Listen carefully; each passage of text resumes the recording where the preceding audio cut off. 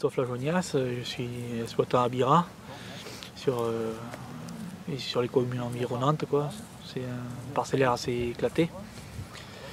Alors je, je suis parti, je me suis intéressé en 2007 à la technique parce que je trouvais que mes sols répondaient de moins en moins, euh, qu'il y avait des, gros problèmes de fertilité, aussi de salissement, des plantes qui étaient un peu bizarres qu'on ne connaissait pas avant. Quoi. Mhm.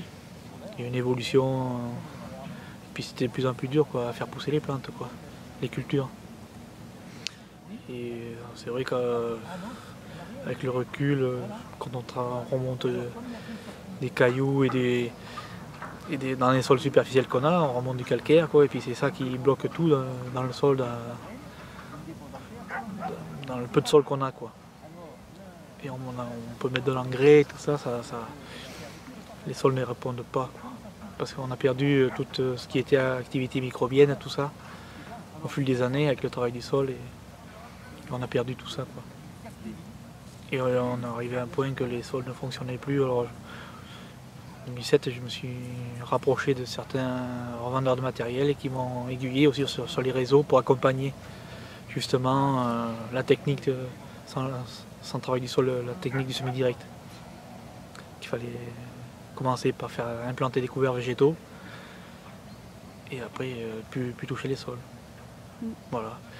Alors j'ai eu le semoir en démonstration au départ et puis il a bien fonctionné sur euh, les parcelles que j'avais essayé. Et je l'ai gardé quoi du coup. Et depuis euh, on fait des couverts en cours et puis on, on, fait que du semi-direct quoi. Toute culture euh, confondue. Aussi bien les céréales de printemps, enfin les céréales d'hiver que de printemps. Maïs, euh, sorgho, tout ça.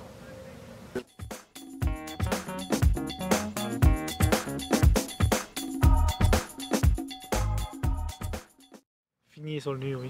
On retrouve de la vie dans les sols. D'abord les vers de terre, parce qu'au début c'est ce qu'on regarde en premier, c'est les vers de terre. Puis après on voit qu'il y a d'autres insectes qui reviennent. Il n'y a pas que les vers de terre, il y a les carabes et tout ça.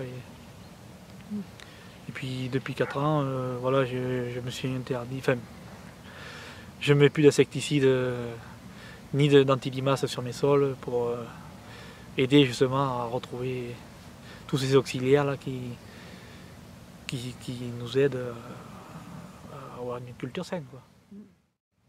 C'est étonnant parce que c'est plus facile de discuter avec des gens extérieurs au milieu agricole.